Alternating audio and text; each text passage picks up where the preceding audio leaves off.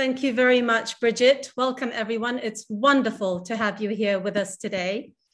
Uh, we're thrilled to have Tara and Sami here. Sami is joining us from his home on a stunning hilltop in Umbria in Italy, and Tara is a little closer in southwest London.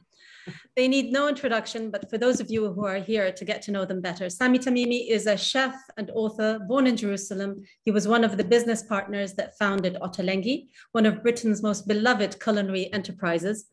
For 20 years, he's also been head chef there, and we can all agree that the food he created had a transformative impact on the UK culinary scene, bringing a food concept that looks and tastes like sunshine, much needed in a place where we don't normally get enough sunshine. From just one deli in Notting Hill, they now run several delis and restaurants and have published, I think, nine cookbooks. Sami has also been at the helm of the Ottolenghi Kitchens as a head chef for almost 20 years and has co-authored three books, the first Ottolenghi cookbook, and then Jerusalem, and most recently, Falastin.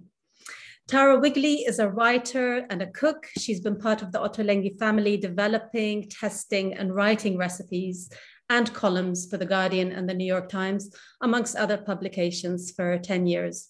She was involved in writing at least cookbooks and is the co-author of two, Simple and Falastin. She's also recently taking to writing the most extraordinary food ditties, which I advise you all to check out on Instagram, and has run the Palestine Marathon in Bethlehem.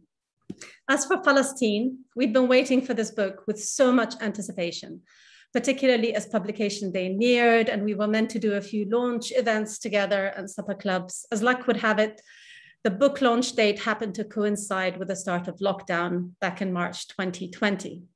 But despite the fact that the book tour that was envisioned didn't happen, there was no stopping the success of Falastin. Our customers all love it and we can't top up our stocks fast enough. 18 months later, here we all are celebrating the Cookery Book of the Year. Huge congratulations to you both. Thank you very much. And thank you for having us as well. It's about, we just about got over our hangovers, so we're here and eloquent. uh, we'd love you both to introduce the book to us and tell us a bit about how the idea of writing a Palestinian cookbook evolved from something you would like to do one day to let's do this. Now is the time.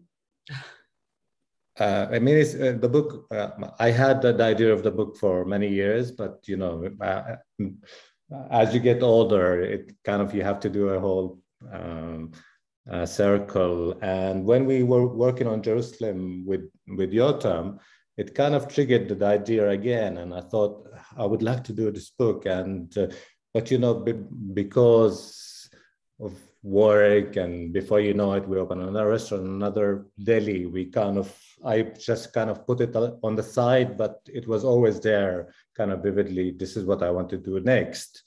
And then um, i mean the time that i started thinking about it the market was really not kind of into or not ready for palestinian cookbooks. And luckily before palestine there were few wonderful cookbooks like uh, Joudie Kalla and uh, uh, Yasmin Khan, all these people that kind of published books before us, and somehow it made paved the way to to Falastin to come out and shine as it is.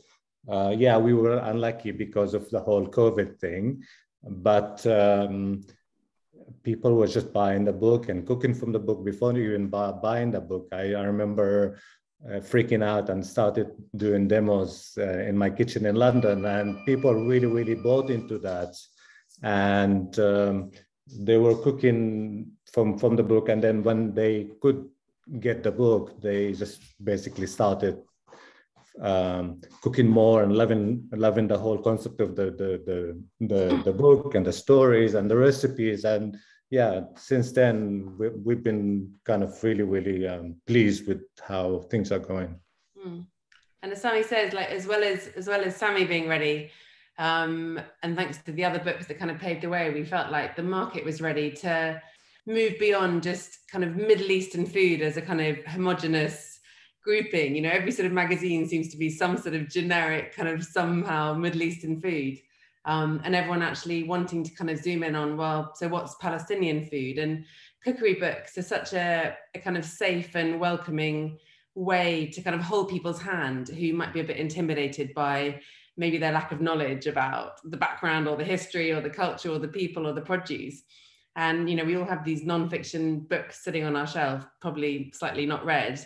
Um, and and yet a cookbook is just a very kind of sort of easy way in because you can dip, but dip in. And so as well as all all the recipes that we have, we also have lots of words um, and tell lots of stories about the people and the place and the produce um, sort of profiles of people in Palestine. That's a lot of P's in one sentence, um, which is ironic because there's no P in.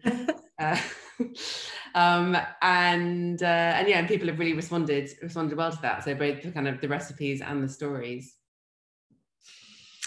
Um, in the book, you write Sami is the host and Tara is the guide. Uh, you both strike me as quite different personalities, but one thing reading about you two, one thing you certainly have in common, apart from your love of food, is a sense of adventure. Sami, 24 years ago, you received a job offer to come and work in London. So you just packed up your bags and, and moved countries. I, I, think you didn't even speak that good English at the time.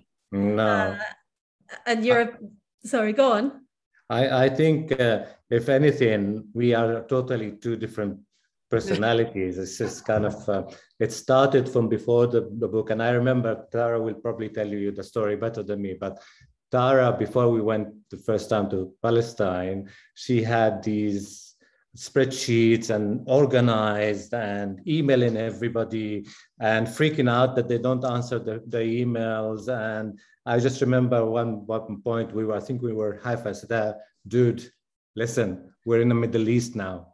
they work differently. You have when they say tomorrow, it doesn't mean that it's going to happen tomorrow. Yeah. And they don't answer emails, so they are busy milking the cows and doing cheese and and uh, and this is this is part of it. And also, uh, Tara is um, uh, is a, a, very busy mom, and she's just full of energy and uh, I'm totally the opposite. I'm just kind of a little bit more, um, what, how to call it? Just kind, kind of, relax, take it yeah. easy, and just wake up in the morning, have my coffee, and go down.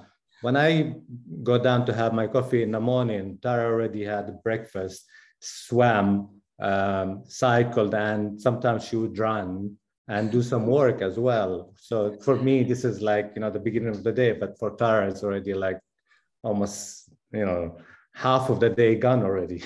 But you kind of you need you need both, don't you? I'm sure as everyone knows for all projects, these sort of different different personalities, and also our journey uh, yeah. with the food was a completely sort of opposite one. So for Sami, it was this journey back home. It was this sort of love letter home, as we say, to the food and people of his youth. And for me, it was an adventure into a new cuisine.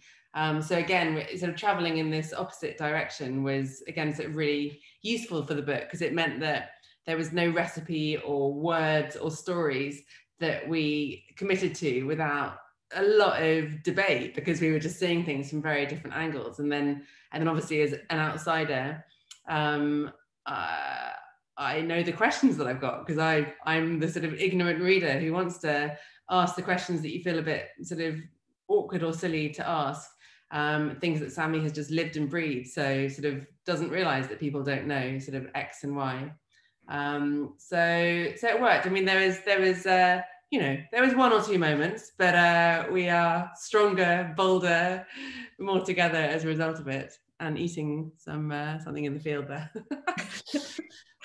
so yeah, I was saying that your, sense of adventure, both of you have that in common, apart from your you know love of food as well. Of course, Tara, like ten years ago, I think it was when your twins were eighteen months old that you decided to leave your career in publishing bundle up the toddlers and your dog to go off to uh, Ireland to retrain as a cook.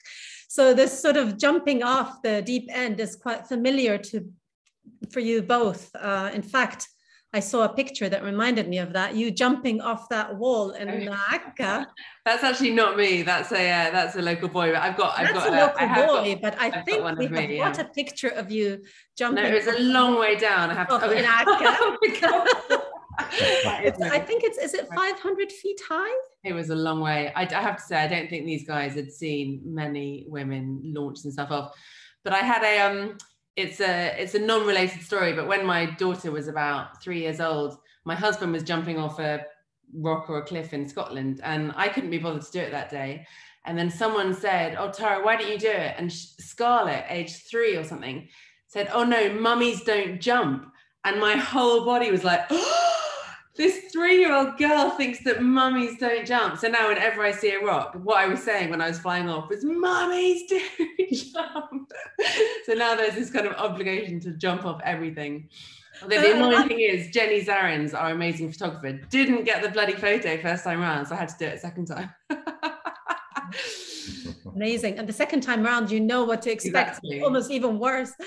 Um, I can just imagine looking at the faces of those boys or just at their stance that they're thinking, this crazy woman, who is she? It's amazing to think uh, about They, they were quite happy to see a woman standing there and trying to jump.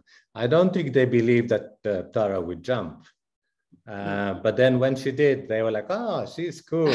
but uh, although I'd eaten rather a lot of the um, that fish baked in tahini just before, so I have to say I fell down quite heavily. But um, it's amazing to think of that going to the cookery school and and you know I was such a fangirl of Sami and Yotam and just kind of just sort of apropos of taking risks and jumping.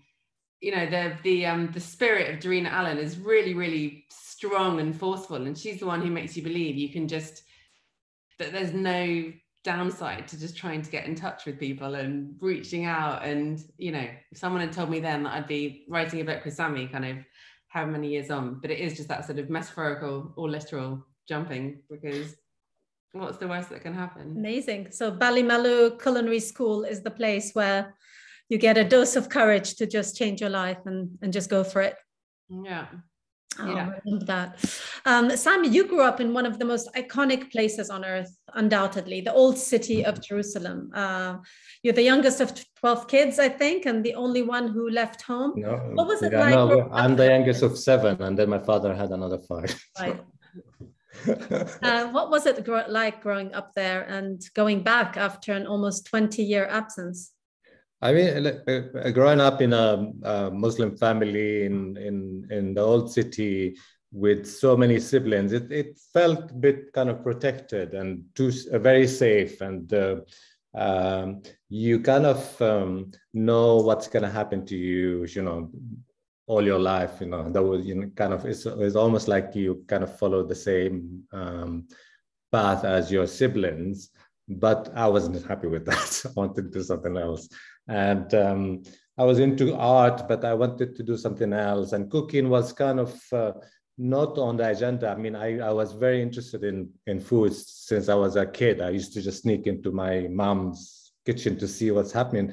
But uh, it's only when I was a teenager that the, the whole cooking came came to my life and I'm glad it did because it changed my life. But also it, it made me to the, uh, determined that you know that that I need to leave the old city and just go and look for what I love, but also the the, the fact that uh, um, I wasn't happy with just you know you you get a job and then you get married and get kids and live not far from the family.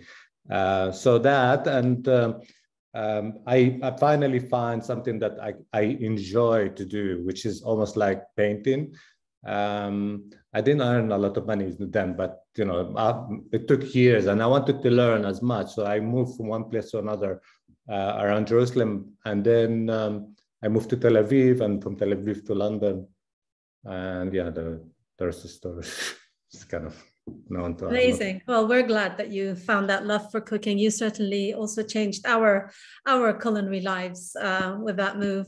Um, Tara and Sami, you both traveled to Palestine several times together, but Tara, your first trip was without Sami. In fact, we're really delighted that when you decided to join one of our food tours that we organized jointly with the Amos Trust, what were your impressions back then and how did they change over the various trips that you took? Ooh, um, gosh, I'm trying to think what year that was. I mean, it was such an incredible trip. And it, you know these these trips are always so amazing because everyone's taken out of their lives and put with you know a completely sort of mixed bunch of people. And then you'll share this very intense few days and and uh, it's sort of unlike anything else i guess. It's like sort of putting on a theatre production or something um, and this incredible access and privilege you have to go into people's houses and and um, and yeah, I mean there was just a lot of a lot of traveling and talking and eyes being opened and eating and um, and I, mean, I think I think kind of years on, my impressions are quite similar in terms of just awe of the produce and how much people's lives are sort of focused around it, sort of whether it's the calendar year or or the kind of the family way. Um, and how so much of the stuff we sort of try and uh, protect sort of you know, in southwest london about kind of batch cooking or cooking for the freezer or eating seasonally. You know it's not a kind of it's not a lifestyle choice there. It's just it's just a way of life. And it was amazing for me to see you know we talk about kind of food and identity and i don't think i really realized at all what that meant in any way until i went to palestine um, and actually saw the link between people and the olive tree and the harvest and the produce and the and the olive oil that results and the chicken musakhan dish that showcases the olive oil. You know for people who've grown up kind of debating whether cream or jam goes on first on the scone you know don't, don't really give two hoots. And actually i i, I realize it's something that we kind of bandy around sort of food and identity is it's it's just such a real massive thing. So that that whole that whole link um, was completely new to me and then that kind of remained with every with every trip. Amazing. Um, how was it for you sami what was it like going back after such a long absence? I think you well you you didn't visit for about what 17 20, 20 years? 12 12 years I think. 12 years okay. Yeah. Um, i mean i went back to um, a familiar kind of um, uh, place that I, you know, I knew very well. Um, it was just for me, I, I, was really anxious to go, but then the minute you step there, it's kind of everything kind of uh, vanish and you just realize that, you know, you were born there, you know, you speak the language, you know the people, you know what to expect. Uh, almost nothing really surprised me or I didn't, you know, when I um, went the previous year, um, I've never seen the uh, separation wall, so that was kind of um, kind of um, hard to kind of swallow, um, especially because my sisters uh, lived kind of five minutes from each other, and because of the wall, now you have to spend 45 minutes traveling between them uh, with two checkpoints, and it's just um, hideous, and also kind of uh, it it kind of brings you back to reality and to the whole problems and somehow you forget some of the stuff but then when you when you have to face it on a daily basis you kind of it drags you down. And uh, i keep saying that it was very important uh, for me to have tara next to me on these trips because uh, um, the obvious thing that i saw for tara was all new and lots of questions kind of came by. And uh, the first the first uh, trip that I did, I I did my own with a family and people that I know. The second and the third trip that I did with Tara, we man we also did friends. You know, people that kind of met became our friends, and they helped us a lot to gap a lot of um, uh, the daily kind of running things from you know driving around to explain things to how how things works um, especially for Tara. Mm. And we were lucky that we were allowed to go on more than one trip. So, you know, the, the, these weren't people we kind of met for an afternoon and kind of got their story. They were people we had the the ability to actually hang out with and spend time with and meet time and again. And uh, yeah. and so time, you know, time is the thing that I didn't realize when I was doing all my spreadsheets that Sami was talking about. That actually time was the thing that was going to be our big gift. It's funny with time and what Sami's talking about the wall. I always think about Vivian Sansour, who we profile in the book with the Palestinian um, uh, seed library. Um, and she said she, she used to say if there was one thing I could sue the Israeli government for, it'd be just taking my time and like just taking it away from me and just all this time queuing and that Sami's sisters spend 45 minutes traveling a distance that should take 10 minutes. And you know, I think every time we sit in a traffic jam and we kind of grind our teeth and yet sort of just someone taking away your time. And again the flip side of that with food when i'm always awed by how much time people spent cooking for us and it's it, it's not just the food it's just like wow you just spent all that time on us. That's such a that's such a gift that you've given us yeah, I agree. I remember once someone saying if you just replace the word time with life, because really life is time, yeah, it's then that kind of puts it in context. Like someone taking away your time, they're taking away your yeah. some of your life. And people yeah. giving you time is they're giving you some of the life, which is so generous and wonderful. And at least when they're cooking, it's really worthwhile. Yeah. um, it, it, was wonderful uh, to see that some of these people that you met they made such an impression on you and that you made profiles and short stories that just sort of told us a bit about the inspirational mm-hmm. things that they're doing and your the profiles vary from people to places to projects that have inspired you um, some of you who've read the book would recognize some of those names, like Vivian Sansour that Tara just mentioned, and Khader Khader and Basma Barahme, who all visited the UK at some point over the past 10 years on a Zaytoun Fair Trade Fortnight tour. Um, maybe you could tell us a bit more about one of those encounters that particularly moved you, that was really memorable. Um, I mean, I keep talking about Islam in the uh, Aida refugee camp because I I found her. I mean, it's quite astonishing the way she does things, and she's. Uh, uh, first of all, I was just wanted to say that women in Palestine run run the, the business for everyone. the, the, the, the husbands normally is kind of come second. First, they're kind of push into the family and the kids and everything, and the husband kind of come after that. Um, but um, Islam is one of them. She, um, I mean, she wasn't born in the refugee camp, and uh, but she ended up there because of her family. And uh, unfortunately, she have a, a, disabled kid, and in the refugee camp, they didn't have um, a school for a disabled kid so she started thinking what what can i do to to help my kid? And she started cooking first. She was cooking for people and then she started cooking with people. And she got well known that people from abroad used to come approach her and cook with her in her own kitchen. And she managed to get also other women from the camp to help her uh, with you know the task. And a year later, they opened a, a, school for disabled kids to help her kid and other kids in the in the um, camp.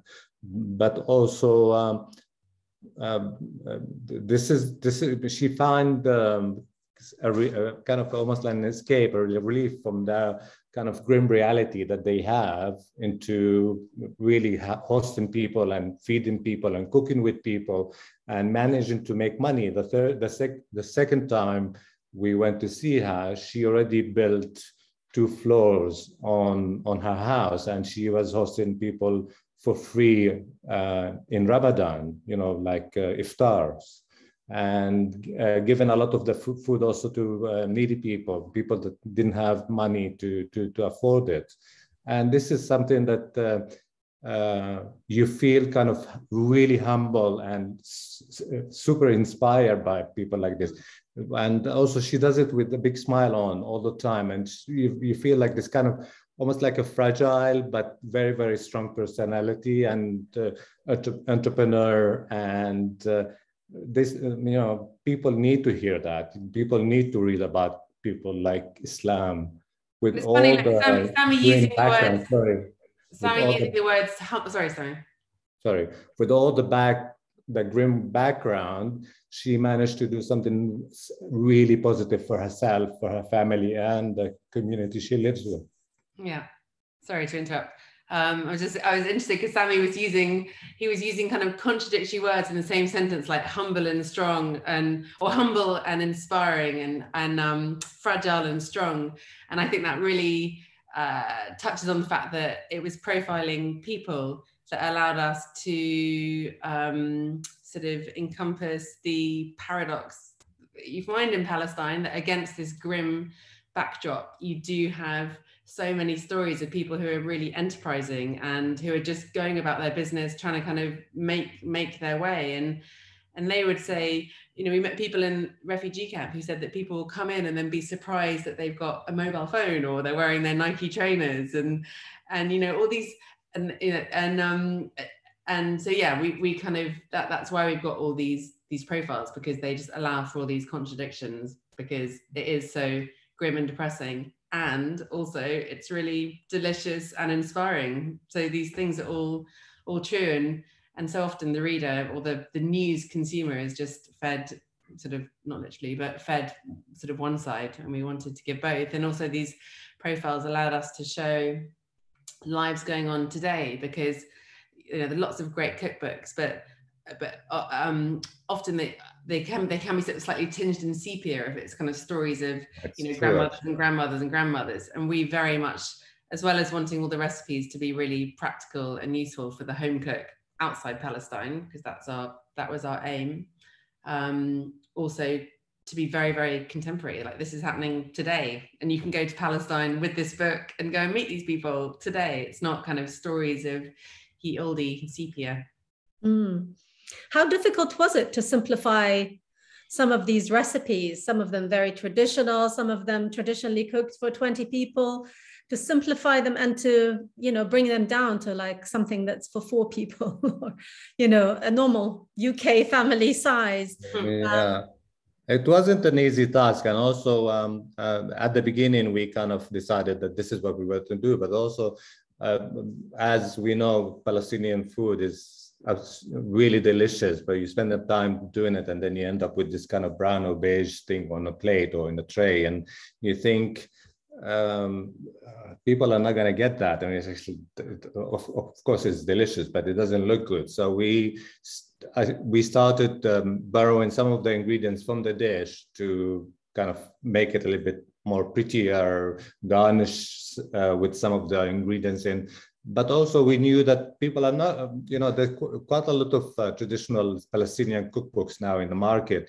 and people are don't always have the time. Well, um, at the moment they have a lot of time, but uh, um, they don't have the time. And you know, we want people to come home after they work on a Wednesday and cook something delicious that takes only 20 to half an hour. And this was always in our mind that you know we just wanted to kind of do something that um, quite traditional, very loyal to the ingredients, very loyal to the profile of the flavoring, without losing, you know, the, the whole kind of uh, Palestinian pantry, the, the, the, key ingredients, the flavoring, and uh, but keep it also straightforward and simpler uh, with lots of tips. Tara got that from the beginning that you know what you can prepare ahead of time and I'm, I'm kind of obsessed with I'm obsessed with cooking ahead and, and batch cooking and um, but you know as Sami said it, it wasn't a straightforward thing we sort of it, it, it took kind of two years to to do. And every recipe was uh, was tested many times. Um, and also every recipe was put through this this kind of test of us wanting to move things forward and not not write the recipe. We didn't want it to be full of recipes that are in other books or online because that's not the book we wanted to write. Um, so we wanted to kind of move it forward but at the same time very aware that our sort of playing around in inverted commas uh, is not just playing around for people to whom recipes are strongly linked to identity and history um, and if I was ever playing around too much, Sami was very, very sort of strict with the fact that we were not going to have kind of X, Y, sort of Z quinoa, for example. If I mentioned that as a gluten-free alternative, you know, absolutely there's no quinoa in this book. Although I do make the odd mention, we do make the odd mention, slipped in under Sami's radar. Um, but then things like ingredients, if if you know, if, if someone can't get kishik, you know, the kind of fermented disc of yogurt, we don't want it in the book because it makes the recipe alienating. So we'll offer alternatives if um, if they're there, or we'll just sort of not have it. And uh, thanks to the large range of amazing Zaytoun products, we can drizzle everything in olive oil and za'atar and beautiful squidgy dates, like Bridget said. Yeah, I just want to add one more thing about um, uh, kind of updating and making recipes much simpler. That it actually talks to a lot of um, uh, young Palestinians because they see it as ah this is something that i know i've tasted so many times. My mom cooks it all the time, but you do it a little bit differently. And it's actually quite cool to do that because first of all, I don't have to spend the amount of time that mom normally spend in the kitchen and I can do something that, you know, as delicious. So you're to yeah. have lots of mums who are across with you, Sami, Palestinian mums yeah, something something like we've got this vine leaf pie. So instead of spending hours kind of rolling vine leaves, which is lovely if you've got a group of people and that's the occasion and it's the weekend and or it's a celebration. But if you want that on a Monday night, it's not so lovely to kind of roll sort of 80 little cigars. So we do it in a great big tray bake and you've got all the flavors, but it's um, you know, you cut it up like a lasagna. Thank you so much for doing that, by the way. Like, I will never roll vine leaves myself. My, my, my sister, my sister always say, you know, I spend half a day rolling these vine leaves, and they go in five minutes. Yeah, yeah. yeah. Then, just go, just go. oh, exactly. Sometimes it's what you want. Sometimes you want to roll uh, 50 vine leaves, but but oftentimes you don't. it can be meditative, but yeah, you do need to find the time and the patience in your book you talk a lot about that link you know tara you alluded to that the link to the land the people the food they eat. What did you observe uh, sami that characterizes that strong link that people have? I mean um, i come from a farmer farmers um, family and all all around palestine i mean you know they were all, they always had a plot of land or bigger plot of land and the connection to the farm farming and to the land it's not just metaphorically but also you know it's it's to do with the fact that uh, this is their way of living but also whatever they grow this is their um, uh, if, if it's olives, for example, it's, you know, to supply olive oil and olives to the family, friends, but also they they sell some of it and earn, you know, it's a money income from it. Um, but also whatever they, they grow in, in their uh, land, they, this is, you know, kind of related to the seasonality, to the pantry, to, you know, uh, uh, they didn't we, we didn't have supermarket in back back in in the days so people used to just sell each other or take them to the market and sell some of the stuff to you know uh, buy to be able, able to buy other things that they don't have like grains or uh, meat or uh, actually livestock as well which is uh, was kind of part of the farming as well. Uh, so the connection to the land and farming and to the ingredients is very very strong and it's still very very strong. Uh, people still you know farm their lands and you know you guys work with people in, in Palestine, farmers and dis- disputers, uh, where, you know, from freekeh to wheat to the za'atar to the olives and the, the uh, dates and the olive oil, of course, and the olives. So, yeah. Yeah, that's true. And exactly, I think in, in, in the context of Palestine as well, apart from just that strong food heritage because of the political situation, uh, that link to the land becomes a lot about just existence and survival as well. Uh, how do I hold on to the land? How do I make sure it doesn't get confiscated? But also, the land gives me food security, it gives me an income. So, um, this brings me to, to the next question I have for you, Sami whether over the years, whether by being born Palestinian or the career that you've had, you've been in this meeting point of food and politics, whether you like it or not and you've had some backlash because of it. Um, yeah. Is there a choice to stay out of politics when we talk about Palestinian food? I, I, I uh, personally tend to stay kind of away from politics because it always kind of drags you into this rabbit hole that you know you just don't know who's who and who's with what. And um, the, the last events that happened in Israel and Sheikh Jarrah and all that, I felt like I needed to talk because I needed to use my, my voice to, um, to uh, I, I, just felt like, you know, I'm so, so, far away from the, from what's happening, but I, I felt like I needed to do something. So I, I spoke up and uh, it brought quite a lot of um, uh, positive, but it brought also a lot of negative. And I was really, really surprised. I'm not surprised from the Israeli side, but from the Palestinian side. And I, I, I was just thinking, uh, to uh, people that you can't even talk to, they won't, they're, they're not even willing to discuss. They attack you like you are the, the, reason why uh, Palestine and Israel are like this at the moment, and what's happening in, in Palestine in Jerusalem, it's because of you, and and these kind of pointing things that are, and you can't really talk to these people. But I think like thinking there are so many issues to to to kind of uh, solve in in in back home, and we just pick on the little things that really kind of almost not worth it. Mm. Um, just because I have a, an Israeli partner and friend and we are successful, it doesn't mean that I'm less Palestinian or I'm a traitor or I can I'm selling my my my identity and my my uh, my uh, land or mm. Palestine, and it's just kind of really really pity, and people need to um, somehow find perspective for things as well.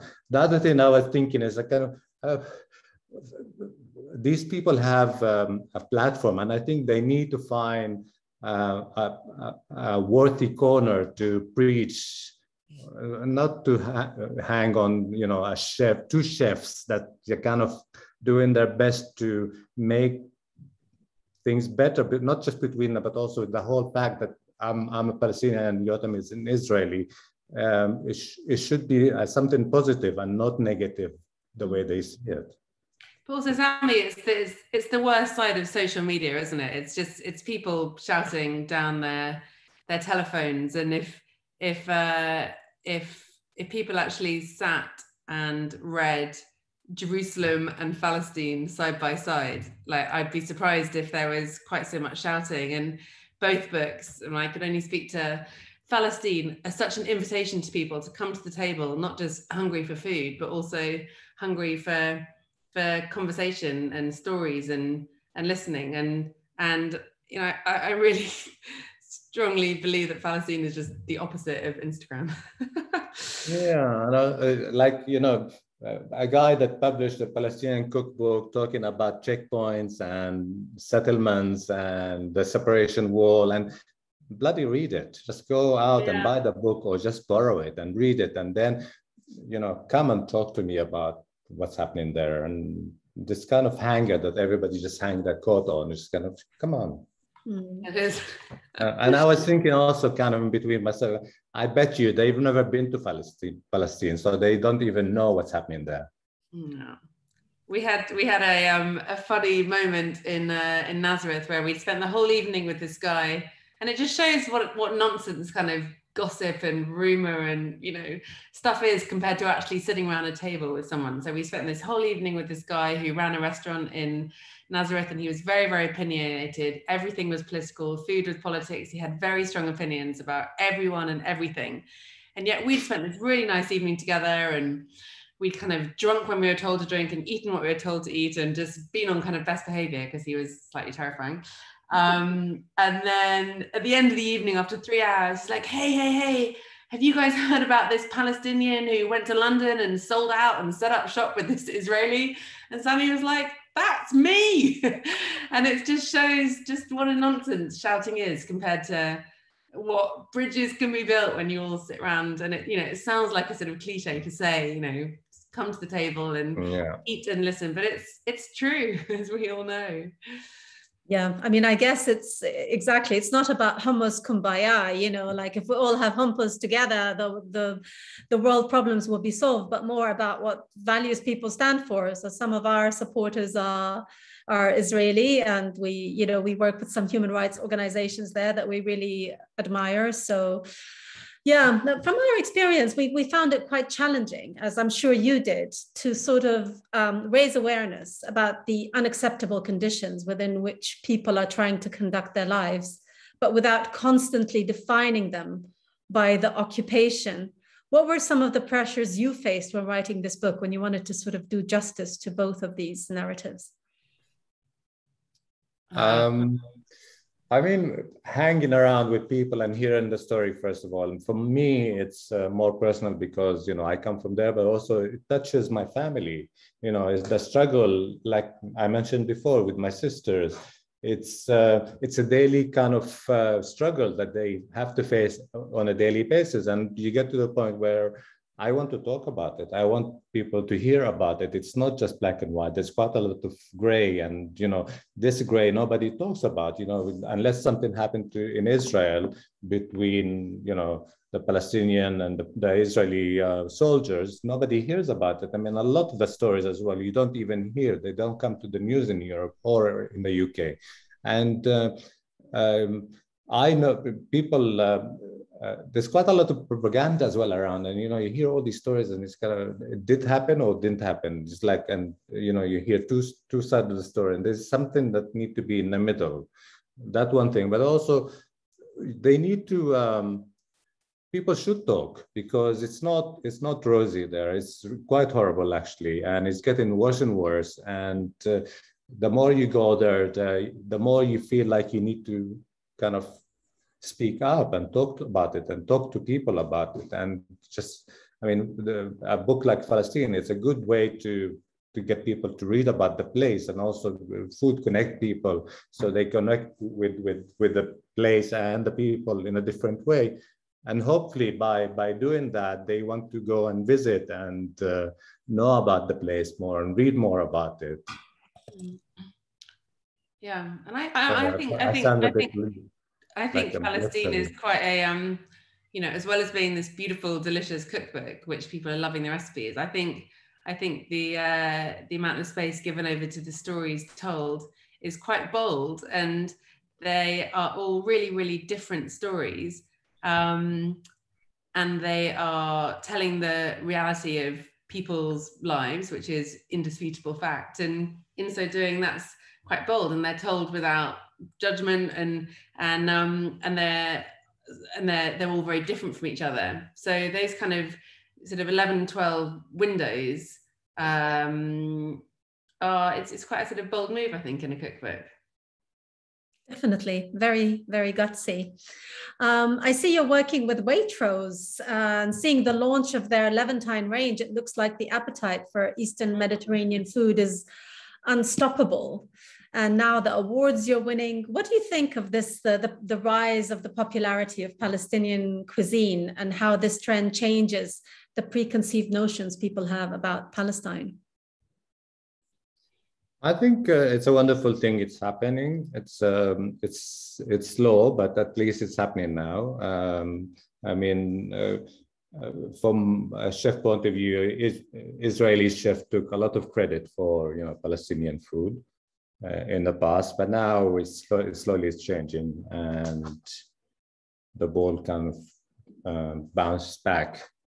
Hopefully, it will continue like this. And also, it's just ingredients, isn't it? So you know, we Sami and I are obsessed by tahini, and we're obsessed by Zaytoun olive oil and and the proper za'atar but still every single day i meet people who um, are using kind of suppressor greek tahini which with apologies to the greek uh, you know it's just going to kind of ruin your meal because it's so claggy and bitter.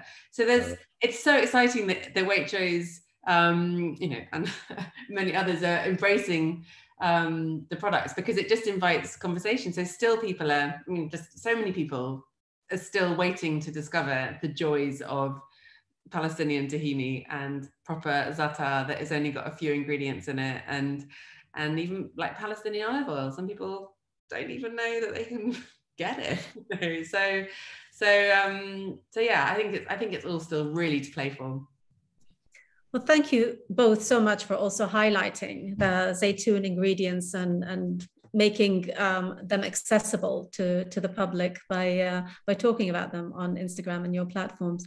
So there's Waitrose, you've got CBS, you've got loads of interviews, podcasts, and media. What is next for you both? World domination. I sorry, what?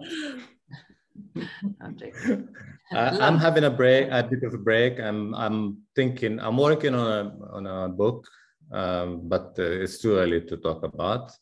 And I'm doing quite a lot of bits. Um, I'm gonna open also, I talked to you about it, maybe an, uh, a spice shop. So yeah, I'm busy. Tara. Um, what's next for me is lunch, followed by um, dinner. by, by dinner. um, yeah, there's always lots of things on. There were columns and and books and um, working on a book at the moment with Helen Goh, who wrote Sweet with Yotam and Yotam. Um, and then uh, I don't know if people have seen there's a sort of new launch of OTK, so there's sort of uh, new book coming out in a slightly different format. Um, so yeah, more words, more food, more eating. Brilliant! Can't wait. So Falastin is Sami's love letter to Palestine and its people. This is my final question before we move to some Q&A because we've got lots of questions from people. Um, how was the book received back home, Sami? Home, um, I mean, really well. I think by, again, younger uh, crowd. Uh, my family super proud of it. Um, we Palestinians don't cook from cookbooks. we know we know it by heart. You know, it's kind of you you inherit it from your mom or your grandma, so you kind of continue the the the the the the, the whole cooking thing. Um, but uh, it's been uh, around the world, Europe and America. It's it's really really got uh, great reviews and been received really really well, and it will continue to do so.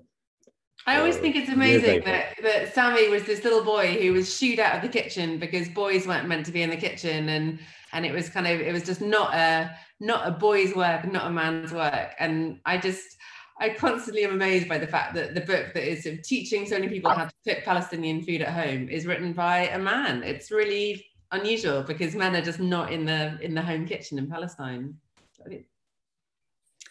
Well done, Sami. um,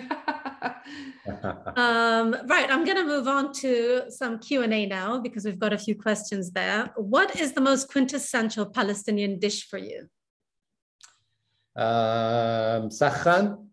And sakhan, I think it's kind of a very, uh, a very Palestinian dish that um, uh, related again to the land, to the, the, the olive harvest, to the olive oil, and it's really, really simple dish, which is roasted chicken, spiced roasted chicken with this delicious uh, uh, flat bread called taboon that it, um, they take it in the morning when they harvest the, the, olives and they will sit around and you just assemble it while you're there. I mean, it's uh, flat bread with a lot of olive oil, the chicken, lots and lots of caramelized onion with sumac and some nuts on it. And they, they will just scoop it. You know they just use their hand. There's there's no utensil to, to eat oh. that or cookery. Just I'm kind of tear it and eat it.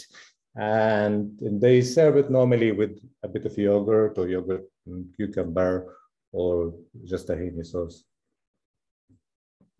yeah it's such a nice entry point isn't it because it's such a it's such an easy dish to make and yeah it really showcases um, so many ingredients. Yeah, I love that one. And I but also on the other end, a, a dish that's very untraditional, but one that I absolutely love um, is this uh, this baby gem uh, lettuce, which has got this burnt aubergine yogurt and shatta. So it's it's not a traditional recipe, but uses shatta, which is this uh, fermented chili paste that Sami and I are sort of obsessed by, and then the the burnt aubergine with the tahini. Um, and so, so, so those two dishes sort of show what we're trying to do with the book. On one hand, quite tradi- very traditional recipes, and then on the other, ingredients that are familiar, but then showed in a completely kind of new, fresh fashion. So that's that's also a delicious one. When the sun is out. Mm. Yum, bring on lunch. Not that I want anything that I've got here at, at the moment. I want that dish. Or sakhan. Uh, one of the many things I love is that the book includes recipes from the whole of historic Palestine. Are there any places that you would have liked to visit but weren't able to? Yeah, Gaza. Gaza, we didn't we didn't manage to go because we were worried that they're gonna let us in and then we're gonna get stuck there um, because I think also there's quite a lot to discover there, and uh, their food is, is, slightly different from the rest of Palestine, which you know a lot of chilies and a lot of dill, and you know um, lots of seafood, um, very earthy, kind of like Romania comes from there, and uh, Sumaki, and uh, so unfortunately and i'm hoping in the future to go and visit and discover it but yeah it's a it's it was kind of sad for me not to go uh, we didn't go to Hebron because I just find the whole place is so depressing. I mean, it's so because I I have childhood memories. My my my mom comes from Hebron, and um, I remember the old Hebron. I just didn't want to kind of face it again and see how they destroyed the whole city. Yeah. I'm talking about the Israelis here. Yeah, I can I can imagine. I've got a foodie question for you here. Garlic cloves, should they be crushed, sliced, or chopped? And does it even matter? Uh, each recipe asks for different things. I mean, I I like to crush it with a garlic crusher, which looks like this, because I think this is a very good uh, thing to do with when you crush well, you're prepared garlic. for this question, you get not just the garlic, but also all the juices into the dish. Yeah. I do mine in. Very chefy. I don't have my prop ready to show like Sami, and it's slightly, um, but I love to do it in a granite pestle and mortar, and then and then bash it up with uh, with sea salt. Um, so that's always how I do it, and I often tend to do more than I need, and then it just sort of sits around in a little pot for a couple of days, and then it's just ready to go in dressings and everything. Yeah, my, my sisters do that as well. So they they ba- the, the pound their, their garlic mm. with with a pinch of salt. I think that's that's traditionally how my my grandparents used to do it as well. Oh, yummy. On that delicious note, I'm going to start to bring this to a close as we're about to run out of time. So um, thank you, everyone. Thank you, Sami and Tara. We would encourage you all to buy the book um, cook the recipes. And if you're on social media, please post the pics and tag Zaytoun and Sami. I'm sure most of you have a copy of the book, but if you don't, then it's time to order it because Christmas is just around the corner. Sorry to depress you, but it's true. And this book is going to make someone's Christmas for sure. And while you're at it, you might as well stock up on quintessential Palestinian goodies. Uh, for that reason, we've put together a bundle of our products along with a copy of Falastin to make it easy for you to just have it all in one place. Okay. Aha, there it is. Um, what a present. That's just beautiful. It, it's a really good bundle. And I use all the products and it's the best Palestinian olive oil. Guys. And also, you need to add some car- I, I, ate a whole packet of caramelized almonds last night. Thanks, Manuel. Thanks. these these just they've just been freshly roasted as well. So they're like God. a seasonal product. I was like, yeah. I'll just have one. Oh my goodness. it's impossible. yeah. And when it's safe to travel, we just want to tell everyone we encourage you to visit Palestine, whether it's after a long absence, as in Sami's case, or a whole new eye opening experience, as in Tara's. You will feel the incredible warmth of the people and be invited to their homes where you will experience phenomenal hospitality. In my personal opinion, a trip to Palestine should be on everyone's bucket list. What you'll experience, hear, see, smell, and taste will make it a trip that you won't forget. So um, please keep your eyes peeled for when our trips will resume. Um, and I think Heather has posted a link in the chat. And with that, I wish you all a wonderful afternoon. Thank you so much for joining us. Sami, enjoy cooking the feast for your guests uh, on Sunday. Tara, enjoy lunch. Good luck with all your incredible projects. And thanks again so much for joining us today. Thanks, everyone. Thank you very thanks much for, for having us. thanks for having us. You can all unmute if you want to say hi or bye. hi and bye. Thank you. Thank you, thank you. So much. Thank you. Thank you. Thank you. you. Get the book. Thank you so much from New Zealand. Good night.